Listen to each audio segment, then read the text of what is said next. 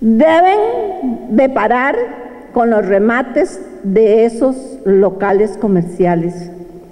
Deben de parar con todo y ver cómo solucionan eso.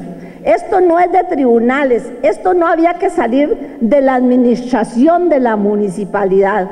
No tenía por qué salir de la administración, porque si no hay un acuerdo que respalde todas las barbaridades que se han venido haciendo, donde han puesto a la gente que le dio el valor agregado al mercado y que está haciéndole frente con este montón de delincuencia al mercado, ahora sí llega el señor José a decirle a, la gente de la, de, la Asociación de Inquilinos que les va a dar dinero para que reactiven el mercado.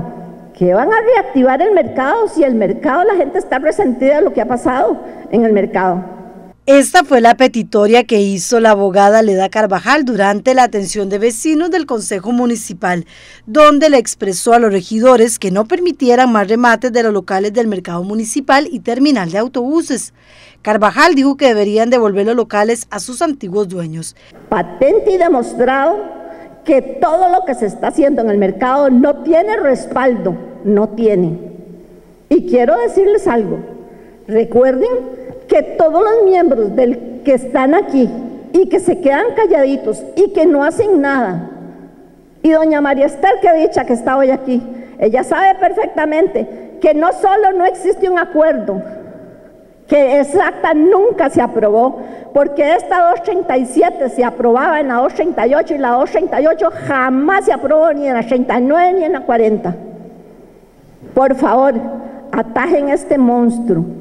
Dejen de hacer tanta injusticia. Devuélvalen los locales a sus concesionarios. Ante esta intervención, el grupo de regidores de oposición dio su apoyo. Yo no sé qué era falta. No sé si una nueva administración en el 2024, eh, que tenga otra visión. Aquí nosotros propusimos eh, una resolución alterna de conflictos para, resolver esa situación entre la administración municipal y inquilinos.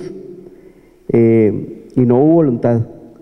Pero nosotros sí entendemos y hemos sido claros y hemos votado en contra de cualquier remate de locales.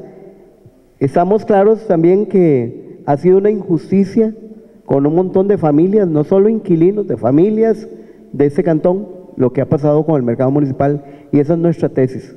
Desafortunadamente aquí venimos este, un bloque de oposición con propuestas, como lo decía José Luis, con el tema del mercado, eh, y la respuesta es no. Un totalitarismo este, que se ve a todas luces y el que paga el precio es el pueblo. ¿verdad? Vemos un mercado que en abandono y casualmente ahora que han sacado a la fuerza a un montón de concesionarios, vemos más inversión en el mercado. Cualquiera diría que es una sacada de clavo no haberla invertido antes. Una decisión de qué apoyar y qué no apoyar, hemos revisado y hemos encontrado cosas como esa que usted dice, nunca hubo un acuerdo, eso lo leímos ahí en el acta esta, y, eso nos ha hecho a nosotros eh, ser precavidos en el asunto de no, de no, de no votar, no votar este, esos desalojos, de no votar este, cosas que vayan en perjuicio del mercado. El diálogo aquí se terminó, unos tienen la razón y otros no la tienen, y como somos cinco, somos mayoría, votamos sin importar si le hacemos daño al pueblo o no le hacemos daño al pueblo. Doña Leda, un gusto y lo ha hecho usted en una forma muy valiente, muy, muy clara y nosotros, este grupo de cuatro, ha estado identificado con los inquilinos del mercado en todo momento, porque hemos sido revisores, como dijo doña Mayra, ¿verdad? A pesar de esas intervenciones, el remate para el 13 de septiembre de 11 locales se mantiene.